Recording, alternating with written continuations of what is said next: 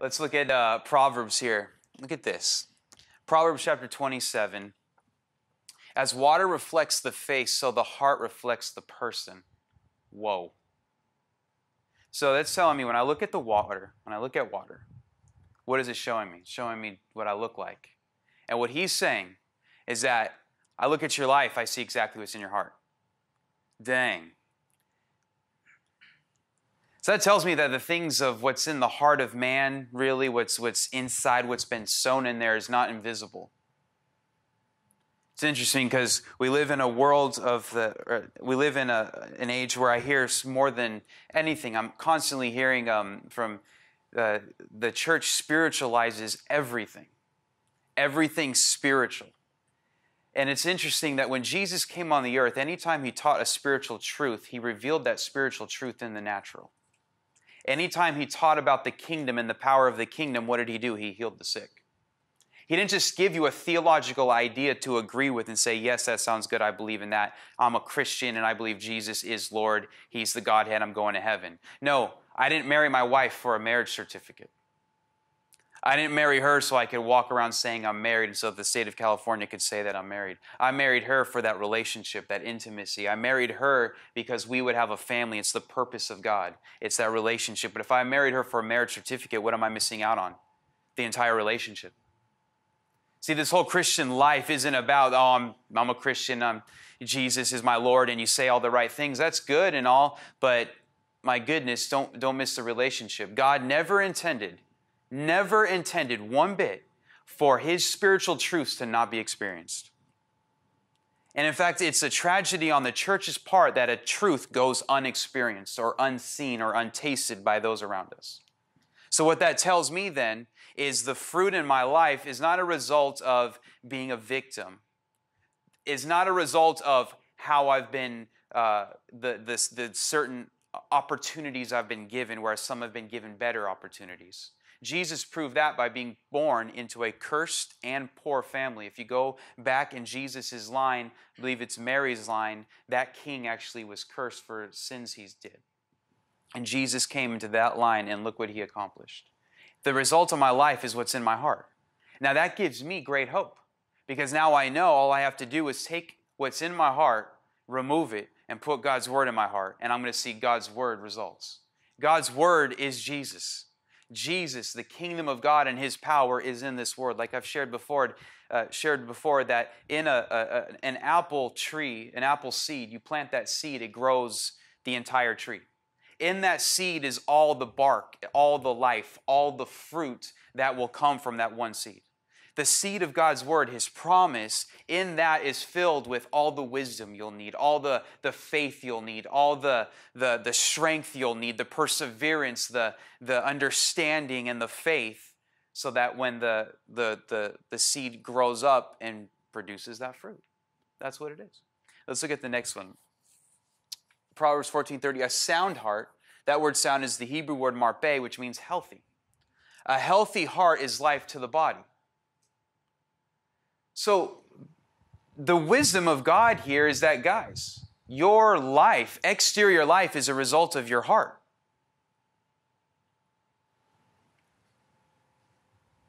A healthy heart is life to the body. 3 John verse 2 says, To my beloved Gaius, I pray that you may prosper in all things and be in health even as your soul prospers. So it's not an exterior prospering and an exterior health that changes the heart, it's the heart that changes this. It's the inside that changes what's seen. Let's go to the next one. A joyful heart is good medicine, but a broken spirit dries up the bones. There's a lot here about the heart of man. Let's go to the next one. Keep your heart with all diligence, for out of it spring the issues of life. So, how many of us can agree with God and say, Yes, I believe you, God, and if I've ever taken the wrong mentality, let's, this is a perfect opportunity for all of us to take that little slap and say, okay, I'm going to change the way I think. I'm going to change the way I see things and understand that it's my accountability and my responsibility of what's in my heart. Jesus said, let not your heart be troubled. He said to us, don't let it get troubled. So it's my responsibility, and I'm accountable for what I allow in my heart. See, I can't control what you put in your heart. I can control what I put in my heart. I can greatly encourage and influence my wife and my daughter what is sown in there. No, we don't need that idea. See, there's there's Jesus described it like this in in Mark chapter 4, the kingdom of God. I'm getting to the, the whole point of the message, don't but this is the foundation. I know it's a little slow, but I have to lay this foundation. Jesus said, The sower sows the word. So there's three concepts here there's the sower, the seed, and the ground, the soil. The sower is you and I, the seed is the word of God, and the soil is what? The heart. And we find in James chapter 1, James says, uh, with humility, receive the implanted word which is able to save your souls. So James reveals to us the, the correct type of soil for God's word to be sown in, and that's humility. You say, well, what is humility? Humility is simply this I can do nothing apart from Jesus. With Jesus, I am everything. With Jesus, I can do all things. Without him, I can do nothing. That's pure humility, okay? That's the concept. That's the state of our heart. Jesus, you're everything, okay? Now, the, there's the, the first seed gets sown by the wayside, the next one on a hard heart, skipping that. The third one, Jesus says, is the, the seed is sown into the ground. It begins to produce, it begins to grow up. Good, good, good. But then what happens is the cares of this world and the lusts of other things entering in choke the word. So what happens is when the seed of God's word is sown in your heart, alongside the seed is also this thorn, this idea. See, God promised me certain things, but then this, this Bible teacher said something, and, and I saw this person's life, it didn't happen, and I was praying for it, and they didn't get their answer prayer. What is that? That's a thorn bush growing up to choke the promise of God's unadulterated word. See, I can't keep you from listening to junk and garbage. I can only give you the pure seed of God's word. And it's for you to take that pure word and allow the Holy Spirit, like I shared, breathe on it. Let it come alive. And you see, we when we when we read this without the Holy Spirit, the Holy Spirit is what makes these letters, this ink, come alive. And it's just, it's just ink on pages without Him, without receiving from Him that coming alive. And that's why I said, keep reading until He breathes on it. Keep reading. And, and I understand, trust me, I'm the first one to tell you, as much as I read this, there's many times I read this Bible and I don't know what the heck I just read. And there's times I read this Bible and I'm like, man, this is dry as can be. My this didn't make any sense, God. And I get mad. I get frustrated. And I, I, I, don't yell at him, but I say, Jesus, what the heck? Why would you make it so complicated? Why couldn't it just be written this way? And it's always, it's never the way it's written. It's always my perspective on the verse. So he has to take me on this workaround eh, through time and time. And then all of a sudden, my perspective changes. And now I see, oh, that makes perfect sense. Makes perfect sense. But it's never him, it's my perspective. I was actually, real quick, I was uh, um, having this conversation with this guy that's involved in artificial intelligence and um, uh, uh, uh, the quantum field. He's a, a, scientist and everything. And he was sharing with me about his conversion to Christianity and how God revealed himself to him through science, actually. And it was a, a, a, such an amazing conversation I had with him. And if you're listening, thank you, because um, he might listen to it. But um, we were talking about it, and he was talking about in the quantum field, uh, space and time is actually non existent. And the quantum, in, in science can prove that there is no space and time in quantum mechanics. For him, that was revelation of how, how can God be in heaven and be in me at the same time. Because scientifically, it is proven that that's possible. 200 billion light years away, something happening there can affect right here based on quantum mechanics. That fascinates me. Anyways, the point of um, what I'm getting to is he started sharing within the quantum field that you can have two people experience the exact same thing and come out with exact opposite results. And he said it's all based on the perspective of the individual experiencing the situation. And he was sharing that with me, and that's scientific. That's not Bible, that's science. And I started, I was just blown. I'm like, dude, as you're talking to me, you know what's bubbling up inside? I'm thinking right now of the 12 spies that went into the land. They all saw the same thing. They saw the grapes, they saw the abundance, they saw the land flowing with milk and honey, and they also all saw the giants. They also all saw the fortified cities and walls. They all saw the impossibility of the situation, but two of them went in with a perspective of God is bigger than that. The others came in with the perspective that I am smaller than that and they all came back with different results based on the perspective. Do you have a God perspective in life? Or do you have a Josh uh, self introspective version of life? Everything will be too big for you, especially the purpose God has for you. God didn't, God didn't design your life based on what you can do. There's no glory in that. You get glory in that. The, what God's drawing us to and inviting His church to is to believe for the impossible, to see that God is the one worthy. Jesus is the one worthy of a, of a church that's filled with His glory.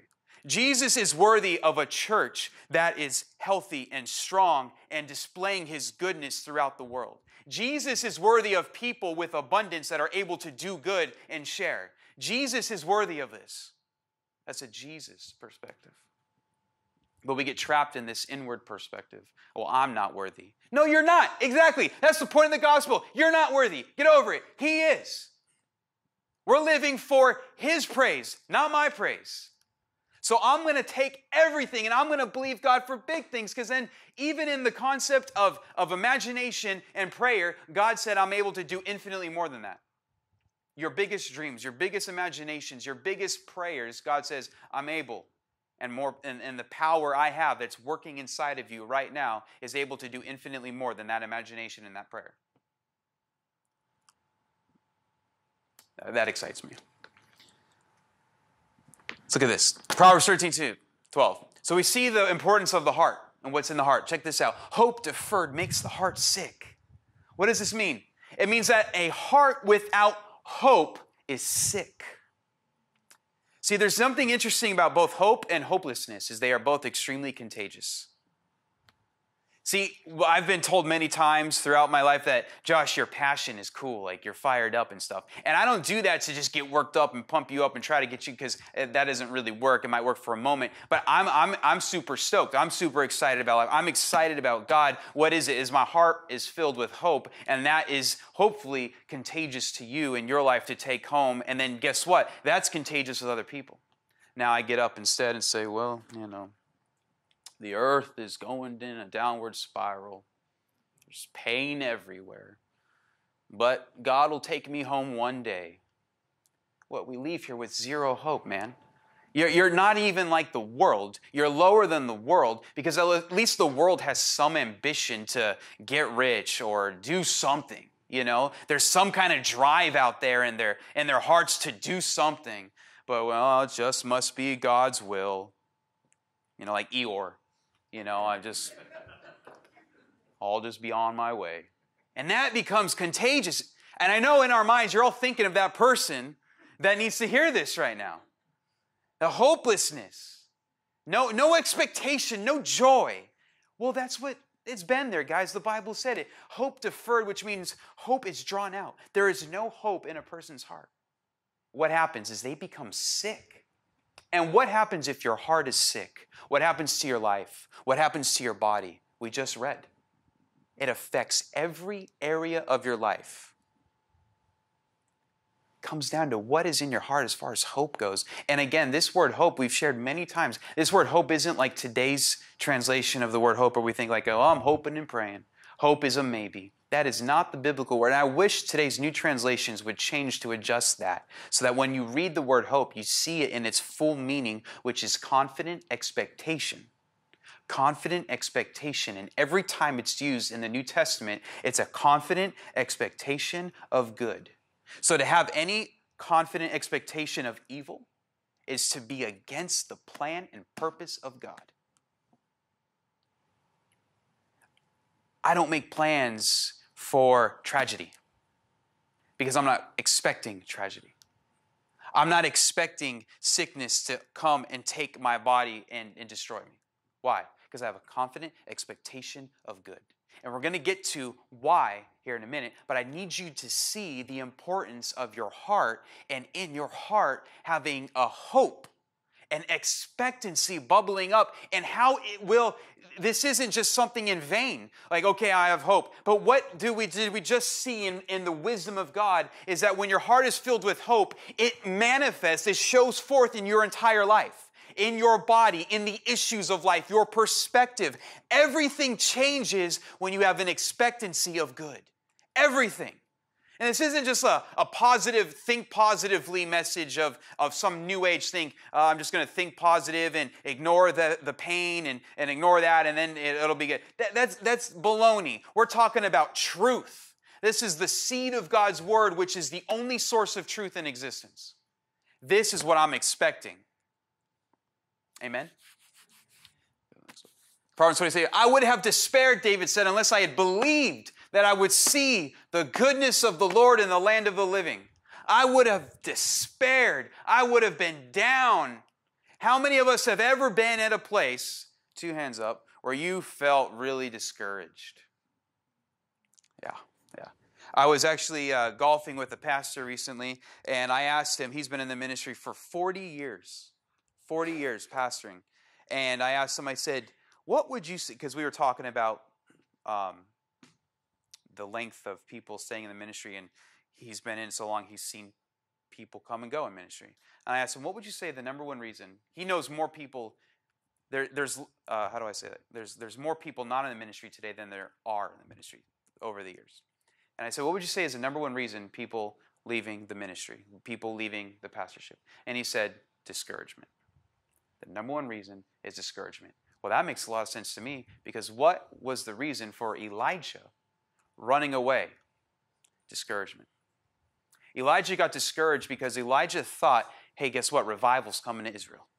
Look at all this that's just happened. The, the people are going to repent and there is going to be revival. In fact, it, it, Elijah saw it this way that Sunday night at 6 p.m., there's going to be so many seats filled in this auditorium that it's going to be overflowing.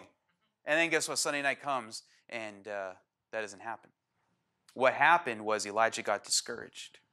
And he allowed that discouragement to really take over his life. And God showed up and said, when Elijah ran away, God said, Elijah, what are you doing here? God never sent Elijah to where he ran away.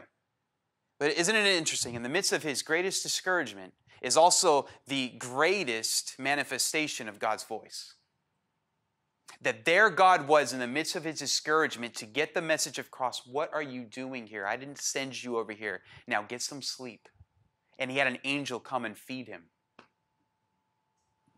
He's there to get you out of discouragement. And we see here David is saying, I would have been in discouragement, except I believed I would what? See the goodness of the Lord. What is he full of? He's full of an expectancy of what? The goodness of the Lord. David is expecting to not just agree with the idea that God is good. We come and sing songs, God, you are good and your mercy endureth forever. And then, you know, we go home and the bills are due, the, the dog is sick, uh, this happened, this happened, this person doesn't like me, this person's talking junk on me at work, this one over here is doing this, and now all of a sudden we forgot all about God is good, and now we're focused on the problems of life. And guess what? You just fell into discouragement. And instead, in the midst of, yeah, but God is good, and I'm expecting to see His goodness over here. Yet, God is good. I'm expecting goodness over here. God is good. I'm expecting goodness over here. What are you doing? Is you are elevating God and the perspective of God above this physical, ridiculous realm that is influenced by the eternal. That is really faith. And then you're not denying the problems, but what you're doing is you are expecting something different than what the devil is offering. See, the devil's offering you on a silver platter fear, worry, anxiety, stress, and torment. Why? He wants you discouraged. He wants you to quit like Elijah. He wants you to end the ministry early. He wants you out. He wants you to stop thinking about the kingdom of God and start thinking about your kingdom so that you'll do nothing for the kingdom. See, all of us have the potential to be God's all star team. There are some people that will do more for God than others. And it's not because the person is special, it's not because the person is called to greater things, it's because that person just believed. That person believed what? The goodness of the Lord. Because even Paul said, I labored more abundantly than all of the others. Paul was an all star. He said, I labored more abundantly than all of them. But watch what he said. But not me. It was the grace of God in me that made me who I am. It was the grace of God. And where does grace abound? We see that grace abounds in rest. When you are resting, He is working. That's called grace. That's called grace. When you relax and rest, I'm not talking about just physically because Jesus was the most restful person. He was also the busiest person, but it's an inward rest. It's an inward peace. It's an inward where I'm resting. I'm not struggling. I'm not toiling. I'm not, I'm trusting God and we which have believed do enter that rest. It all comes back to what you believe about God. Are you allowing the thorns to grow up and choke the true nature of God? That's the question we all have to ask ourselves. What is in there? Because again, I can't control what you hear. I can't control what, what even Angela hears. I can control what I hear, and I can strongly influence and encourage you. You don't need to watch that. You don't need to listen to that. That's not going to help you. That's not good. No, open this up. Open this. Even if you don't understand what you read, your, your, your spirit does. Keep going. Just, just keep going with it. Let the Holy Spirit. And, and that's the thing is we eat sometimes three meals a day, sometimes more, sometimes less, to keep our physical body strengthened. Right? It's the fuel for our day. You don't eat for a day, you wake up the next morning, you're tired. Well, hello. Your spirit is what gives you the issues of life, the heart. And we, we, we go with a, a quick fast food meal on, on Sunday night, you know? And this isn't a co- condemnation. This is not uh, uh, anything. This is a, uh, an encouragement that, look, when I read this, I'm not becoming this. I'm seeing who I really am. I'm seeing how much God loves me. I'm seeing what He's accomplished and what He's done for me. That's one of the things I've had to learn because I used to, well, I didn't read my Bible today, so, you know, I'm not who I am. I'm less than I could be. And I realized, my goodness, I don't, I'm not reading who I'm going to become. I'm not reading about what's going to happen. I'm reading about what has already taken place. I'm learning and growing in the knowledge of Jesus. Jesus put it this way this is eternal life that you know the Father and His Son, Jesus Christ. This is eternal life that you know Him. This is eternal life that you know Him, that relationship, that knowledge, that intimacy with Him. Paul said it this way It's my determined purpose that I may know him. Paul, what about all the churches that you're planning? What about all the mission uh, stuff that you're doing? What about this and that? No, no, no. All of that is a result of my intimacy with him. All of that is a result of my knowledge with him. Psalm 34 8. Oh, taste and see that the Lord is good. It's interesting because both tasting and seeing is done where? Spiritually? Just saying, sometimes we spiritualize things a little too much. I want you to, if you guys have your, I don't know if you have your Bible or if you have a, a, a phone Bible, turn to Second Corinthians real quick. I think I have it on the screen too. I'm going to blow by this real quickly. But there's, a, there's the point, that was the foundation, but it's not going to take long. Second Corinthians chapter 3.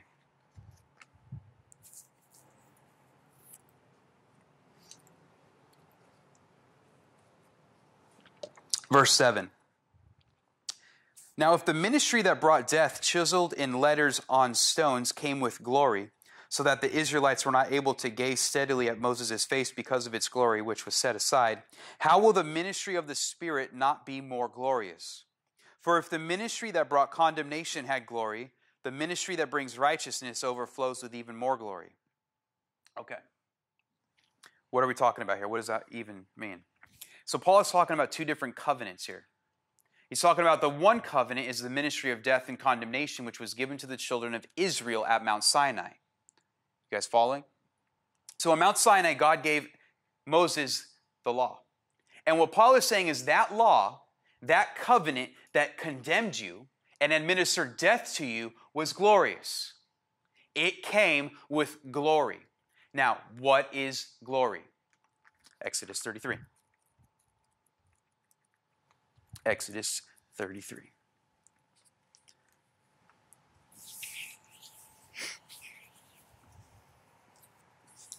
Verse 18. Then Moses said, Moses and God are talking, talking about going into the land, the promised land. And God says, You, the, the people are stiff necked people. I'm not going with them, but I'm going to send my angel. My angel will provide everything you need. It'll, it'll win the battles for you. You'll have the land flowing with milk and honey. It's yours, but I'm not going with you. And Moses says, God, if your presence ain't going with us, I do not want to go. What is Moses after? The things that the kingdom brings or the king himself. You see, there, there's the, there, you can see this all throughout the Bible. There's this desire to know him, and there's this eh, desire for his presence. And then there's others that are just after the, the, the, the peripheral blessings. Now, that's fine for the world, you know, because they're drawn by the goodness of God. They see the blessings. The, the people saw Jesus doing the healings and the gifts and all that, and they came to him and came to him. But the disciples were with him, and yet they even kind of failed in the intimacy part.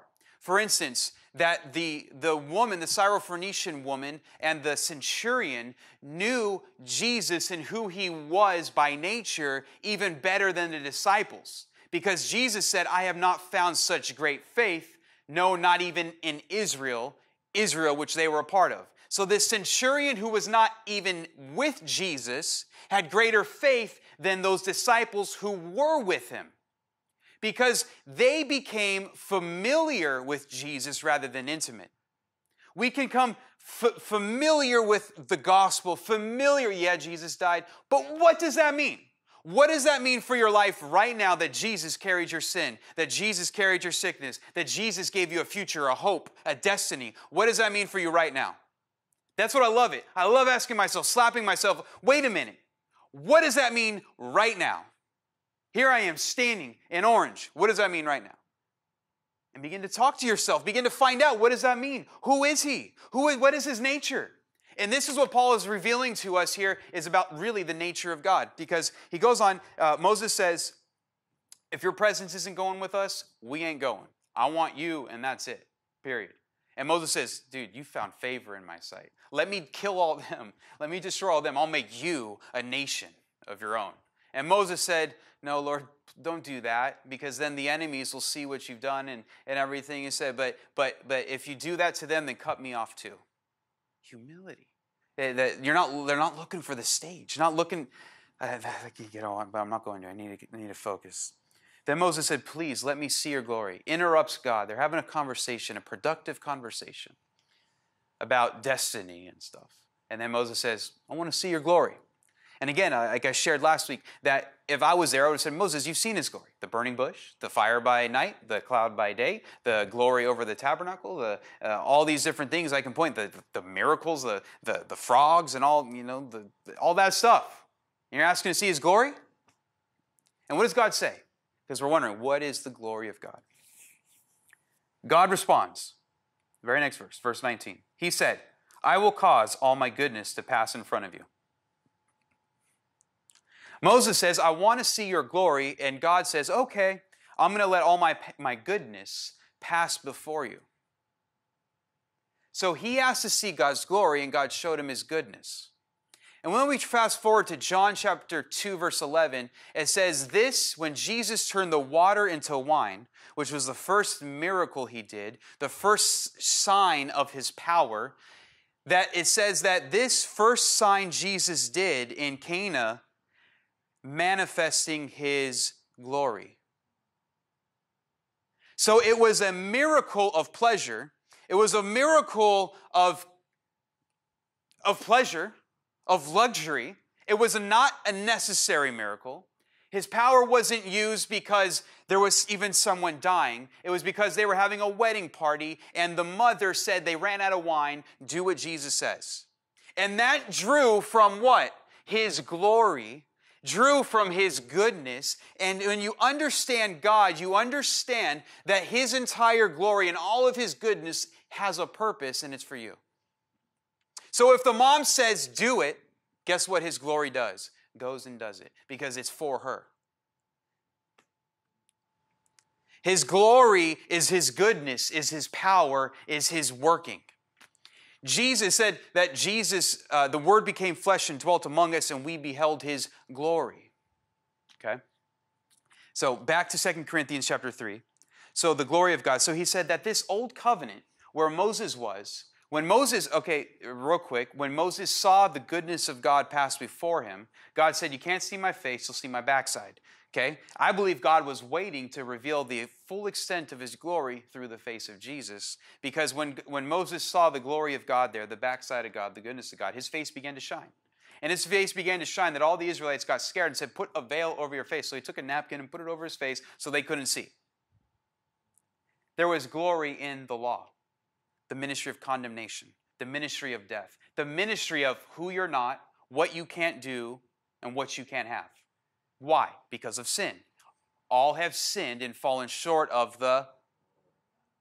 Oh, so that tells me the original purpose and design of man was for his. Because when sin came, we fell from his, his goodness, his power, his presence. So, what did Jesus do? Jesus in John 17 said, Father, the glory that you have given me, I have given them the glory, the goodness that you have bestowed upon me, the love, the grace, the intimacy that you have given me, I have given them. What had happened? Jesus restored us even greater than what Adam and Eve had in the garden. Guys, sin. Sin was dealt with.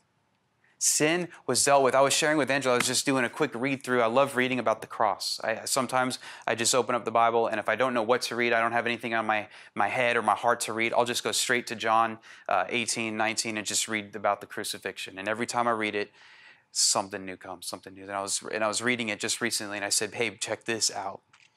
I said, you know that, remember when Peter took his sword out and cut the, the, the, the servant's ear off? I said, check it out. They go to court, right? Servant says, Hey, that guy Peter cut my ear off. He needs to be killed for cutting my ear off. And the judge says, Well, show me the evidence. Well, if you know the story, what happened was right when he cut his ear off, Jesus took the ear and put it back on. So, guess what? The evidence of that sin is where? So, is there any judgment for that sin that did happen? Why? Because it's. Where is the evidence of your sin? Gone. It's in that dead body. We did baptisms last week, the evidence of all your sin, your entire lifetime of sin. And you go to court, and the judge says, okay, well, then show me the evidence. Now, certainly, did Peter cut the ear off? Yes. We're not denying that. But show me the evidence. Jesus removed all evidence of any sin, stain, or unholiness we have ever seen. Isn't Jesus amazing? So that you and I can walk in his glory. All have sinned and fallen short of the glory of God. So that's why I preach so strongly not to have a sin conscious. Because if you have a sin consciousness, you won't be able to receive and believe and see from the perspective of God's glory. Because a sin consciousness is what? I've fallen from his glory. No, I'm, you know, yes, you're not worthy. We know that, but it's time to remove that consciousness of yourself and see that Jesus lifted you up with him. You're seated with him in heavenly places. Take that place of authority, take that place that God did for you and believe it. And he's talking about here the two covenants, the glory that existed then. And what is Paul's conclusion? Look at verse uh, 10. In fact, what had been glorious is not glorious now by comparison because of the glory that surpasses it.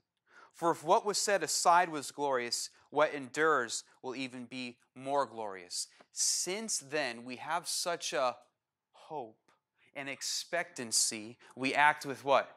Great boldness. we act with great boldness. Now, why? Why? Why? What is this? What am I saying? The, the glory that came from the law, which administered death and condemnation to you, who you're not, who you're not, you're short of the glory of God, had glory. How much more the ministry of Jesus saying, You are clean, you are holy, you are spotless, you are righteous, exceed much more in glory. In fact, Paul goes so far to say that the glory of this new ministry, this glory of you being righteous by Jesus is so much more glorious. The glory of the old does not even exist. It can't even be seen anymore because of the glory that remains. Now, what am I saying? In Exodus chapter 34, no. Exodus chapter 40, verse 33. Next, Moses set up the surrounding courtyard for the tabernacle and the altar and hung a screen for the gate of the courtyard. So Moses, Moses finished the work. What am I talking about? They finished the tabernacle of Moses, the place where the ark of the covenant would dwell, and the place of worship, the, the place of sacrifice, where the animals would be sacrificed. It's where Jesus, a picture of Jesus in the ark, dwells. Now, this tabernacle was made with human hands. I want you to remember that. And this tabernacle is in the old covenant of the law. And what happened? The cloud, verse 34, the cloud covered the tent of meeting, and the glory of the Lord, the goodness of God, filled the tabernacle. Moses was unable to enter the tent of meeting because the cloud rested on it and the glory of the Lord filled the tabernacle. Let me explain to you what that cloud is. When the presence of God shows up, sickness and disease and pain and stress and anxiety cannot. Because Jesus said, Kingdom come will be done on earth as it is in heaven. So when that kingdom comes, that will that's done in heaven is done where that kingdom is. So God says, I want you guys that have my kingdom and have authority in the earth because of what Jesus accomplished, spread the knowledge of my goodness, of my glory throughout the earth. So I can't help it that when you start talking to me about how you're anxious and stressed out and full of anxiety, the kingdom of God in me cannot allow that to continue. So I must tell you about this Jesus and the peace that he's given you, and I must stretch forth my hand and pray with you right now because the kingdom in me has more power power than that pain in you. So, what just happened is that's the glory of God intervening, invading the kingdom of darkness. And where is darkness when light shines? Gone. The glory, the goodness of God fell on this tabernacle made with hands. And this tabernacle wasn't anything real special other than it was an exact replica of the one in heaven. And it, it, other than, and I don't mean that I shouldn't have said it that way because it, it, was beautiful because it's all a picture of Jesus. But what I mean is, it's not made with marble, not made with, um, you know, it, it's not like, never mind. It was made with goat skins and beaver skins. You understand what I'm saying? Now, fast forward to Solomon. And Solomon builds the temple, Second Chronicles chapter 5. I got this new Bible. I love it. It's perfect. Second Chronicles chapter 5, verse 4. Um, Solomon finished building the temple. His father David provided the majority of the substance to build this temple. And this was a beautiful, gorgeous temple, still made with human hands. And all the elders of Israel came, and the Levites picked up the Ark of the Covenant. They brought up the Ark, and they placed the Ark in there. Verse 11 now all the priests who were present had consecrated themselves regardless of their divisions. When the priests came out of the holy place, the Levitical singers dressed in fine linen and carrying cymbals, harps, and lyres were standing east of the altar, and with them were 120 priests blowing trumpets. Isn't that interesting? There were 120 priests blowing trumpets, and trumpets, blowing the trumpets, is always a picture of our words, of our mouth, and what is coming out of our mouth. And there's 120 priests here blowing trumpets, praise to God, because the temple here is finished, and the presence of Jesus, the manifest presence of Jesus, is inside. We just so happen to see that on the day of Pentecost was fully come, thousand years later, that the, the apostles and the disciples were gathered together in the upper room. How many? 120 of them. And the Holy Spirit fell and filled them, and 3,000 people got saved. And what they did is when they came out speaking in other tongues, the people heard the wonderful works of God being proclaimed. The Levitical singers were descendants of Asaph. Uh, verse Verse 13, the trumpeters and singers joined together to praise and thank the Lord with one voice. They raised their voices accompanied by trumpets, cymbals, and musical instruments in praise to the Lord. And look at what they were, look what they were shouting. Look what they were singing. This is it. For he is good, his faithful love endures forever. For he is good, his love endures forever. When did God decide to show up and manifest? It was when their eyes were on how good he is and how much he loves them. The very next verse says, The temple, the Lord's temple, was filled with a cloud. And, be, and because of the cloud, the priests were not able to continue ministering, for the glory of the Lord filled God's temple. When they got their eyes on his goodness, it wasn't even the temple made with hands. It was that when they got their eyes on his goodness, he filled the temple. Last one Haggai. You don't have to turn there because you won't find it in time. Haggai chapter 2, verse 6. For the Lord of hosts says this once more in a little while, God says, I'm going to shake the heavens and the earth, the sea and the dry land. I will shake all nations so that the treasures of all the nations will come, and I will fill this house with glory, says the Lord. This is a declaration of the Lord of hosts. The final glory of this house will be greater than the first. Now we're talking, don't forget about expectancy and what you're expecting. The old covenant, these people could expect God's glory to a degree. But this new covenant is much greater in glory. In fact, it's the full aspect of God's goodness in the face of Jesus Christ. This new glory, God says, this new house will be greater than that of the former. Now, remember, we just saw the tabernacle of Moses, and then we saw the Solomon's temple. What is this new temple? What is this new place? Well, it's not a place made with hands. Human hands built that. God's glory anointed, God's goodness and God's presence was there. This is the temple of you and I, not made with hands, but you and I are made with His own hands. We are living stones built as a holy temple unto the Lord, where we offer our sacrifices of praises and thanksgiving to our God. How much more, Paul is saying, how much more glorious, how much more should you have an expectancy of seeing and tasting the goodness of the Lord under this new covenant than that of the old? And because of this expectancy, we act with great boldness.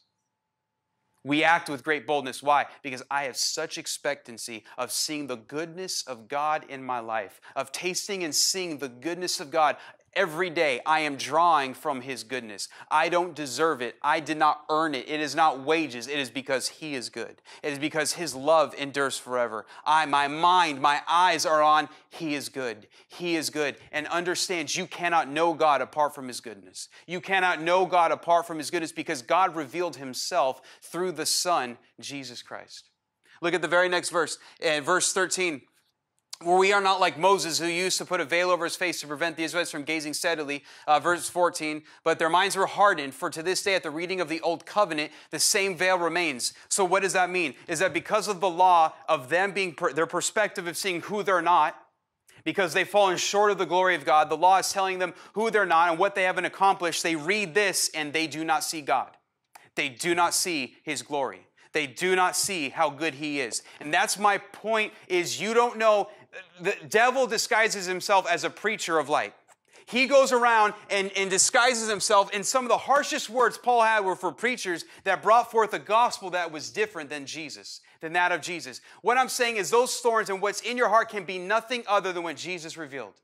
The, the law of Moses, you and I are free from, not so that we can just go live any way we want and live crazy lifestyles, but rather we can live for Jesus. We can serve Him in a new heart and a new spirit, righteousness of God, doing good works full of His Spirit, where He's moving within us and He's moving in us and transforming our lives.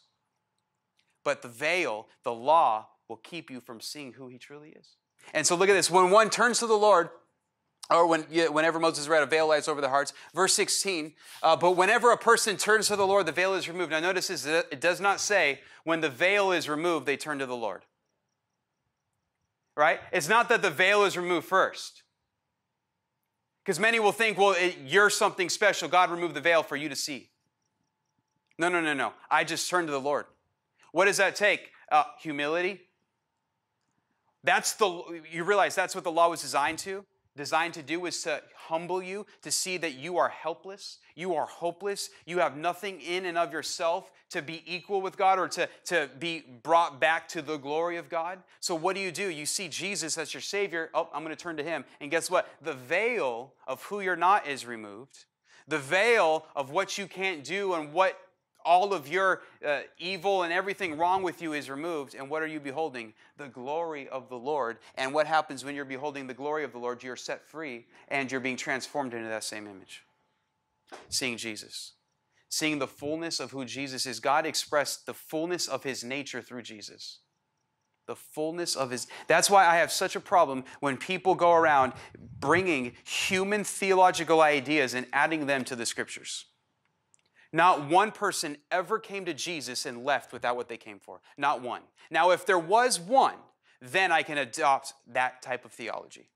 But when I adopt a theology because somebody I know went to Jesus and didn't get it, and I change this to match that human experience, I'm in error. And I am not revealing the goodness of God. Because the goodness of God is to be revealed through who? Jesus and Jesus alone. That's it.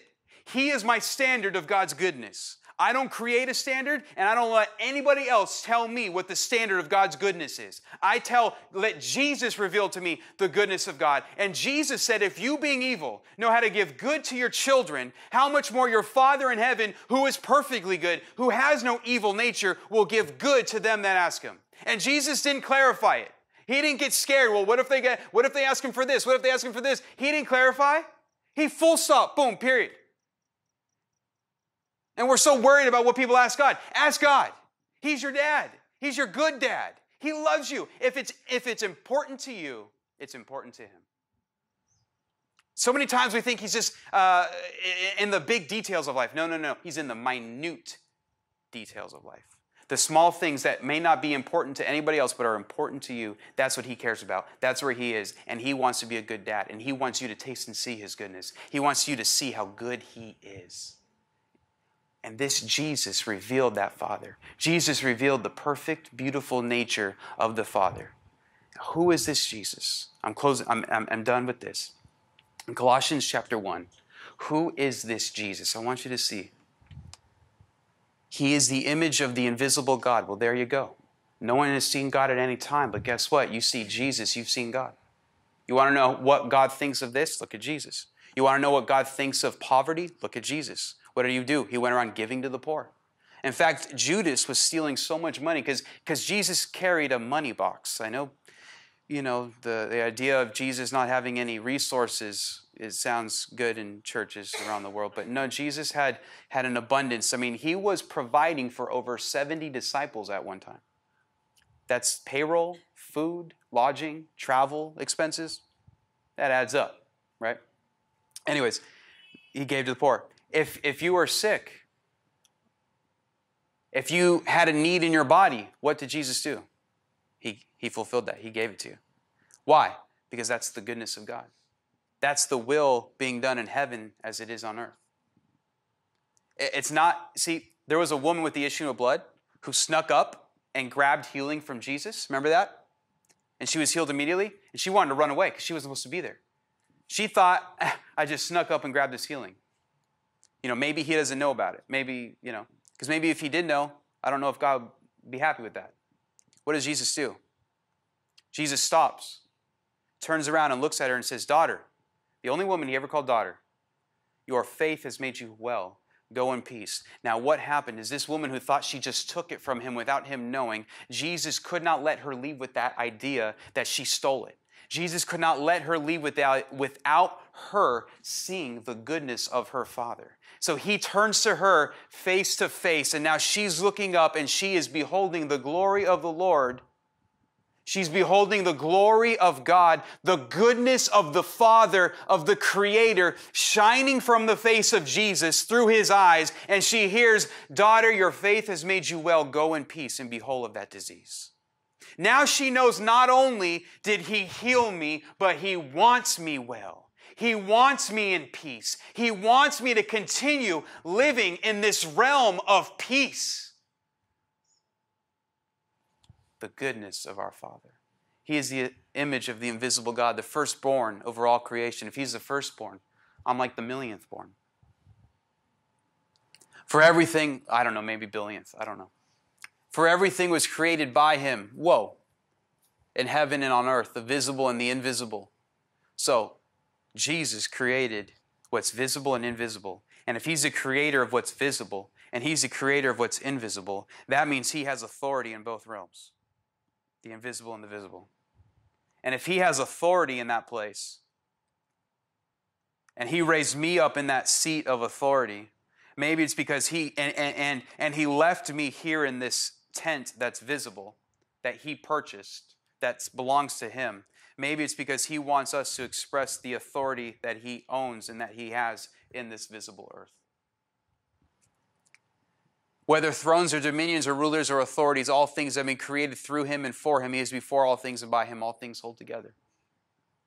Verse 18 He is the head of the body, the church.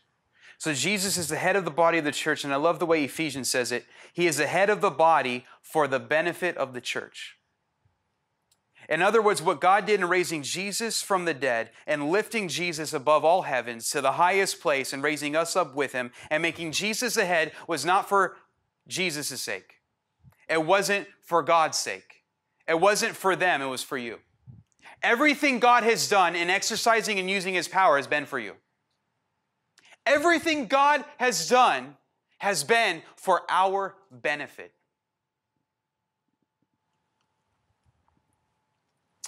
Wow. So that he might come to have the first place in everything. Now, I was reading this this week, or a couple weeks ago, and this is what jumped up, because I know it's coming. It says, For God was pleased to have all his fullness dwell in him. You read that, you can read right by it, and you think about that. And I have the amplified version it says, For as pleased the Father that all the divine fullness, the sum total of the divine perfection, powers, and attributes should dwell in him permanently. Now, it, it hit me like a freight train because I know what Paul writes right after this. But as I'm reading this, I'm thinking, okay, well, how do you contain God? You know, how do you bundle God up? You know, you take an avocado and you can put it inside a Tupperware and you can say that that avocado is contained in that Tupperware, right? The, the fullness of that avocado is in the Tupperware, right? Everyone, well, I'm trying to make this as simple as possible, right? Now, how big of a Tupperware would you need to contain God?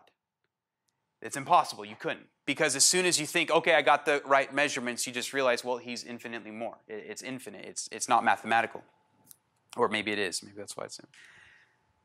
You can't contain God yet. And I've thought about that many times. I look up at the stars in the sky and I see how big God is. And all of that was with a breath. All that was created with just a breath. Imagine when he flexes his muscle, what happens? Okay, that was with a breath. Next time he'll give a shout or flex his muscle. How do you contain him? And yet, God, it pleased him for all of his fullness, his power, his perfection, his nature, his goodness, his glory to be contained in his son, Jesus. Now, I jumped up and down and danced for a while and thought amazing things because of what Paul wrote just next.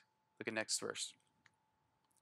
Verse 27 God wanted to make known among the Gentiles the glorious wealth of this mystery, which is Christ in you, the hope of glory.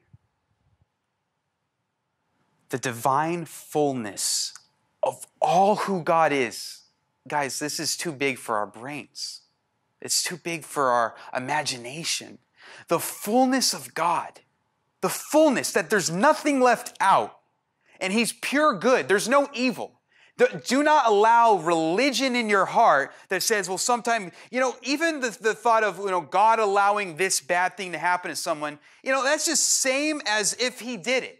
Because if you have the power to stop something bad from happening to somebody and you don't, you're an accessory to murder. You're an accessory to that. So get this religious junk out of God having any relationship with evil. He has zero relationship with evil. In Isaiah 54, he says, Look, when you're under attack, it's not from me. I'm letting you know, when you're under attack and the attacker comes, it's not from me. But I created him and I created his weapons. So guess what? No weapon formed against you will ever prosper. It's not me.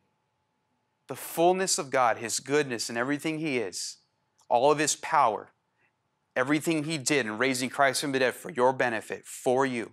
Jesus dying for you, carrying your sin for you, carrying everything wrong for you, being raised up for you, and now seated at the Father's right hand for you. Then God said, You know what? I'm not even satisfied with that. I'm going to make sure all my fullness dwells in my son Jesus, and then Jesus Christ is going to live in my people.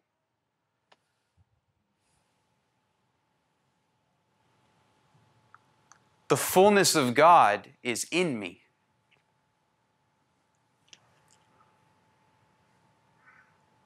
And what did Paul, what's Paul's conclusion to that? An expectancy of what? Glory. I'm expecting God's goodness. Why? because Christ in me. I'm expecting this to happen. Why? Christ in me. I'm expecting God's goodness. Why? Christ in me. Going around my house, going around my day throughout this, thought comes or whatever. No, I'm expecting this. I'm expecting good things. Why? Christ in me. He's in me. The fullness of God is in me. I'm expecting this. Why? Christ is in me. Yeah, but you, no, no, no, no, no. It's not because of me. It's because He's in me. Yeah, but, but, but, but, no, no, no, no, no. Christ is in me. Christ is in me, the hope of glory. The hope of expecting, the, the expectancy of tasting and seeing the goodness of the Lord. Why? Christ in me. In Christ, all the fullness of God, the Godhead, the deity is in Him. And that's too big. I know, you know, it's too big for me to comprehend. It's too big. What? What? The fullness of who you are is inside me right now? With just a breath, you created this universe that we haven't even found the end to. And you're breathing on me, you're speaking to me. What is that going to create in my life? What is that going to do? Well, I tell you what, I don't know, but I'm expecting good. I'm expecting His glory which is why when someone comes to me and they are in need, I don't need to send you to somebody else. Why? Christ in me, the hope of glory, right here, right now. And when I pray for you, I am expecting God's goodness. Why? Because He has appointed me and assigned me in the earth to reveal the knowledge of His goodness everywhere I go. So when I pray for you, I'm not praying for you expecting because you were good or you did something right or even I did something right. It's because God is good, He loves you, and He put Christ in me. That's why something's going to happen. See, Jesus didn't go around preaching. How many sermons did you hear Jesus preach about unanswered prayer? I didn't hear a single message in my Bible about unanswered prayer. I find things in my Bible that are so big that Jesus says, if you ask anything in my name, my Father will do it. If you ask anything in my name, my Father will do it.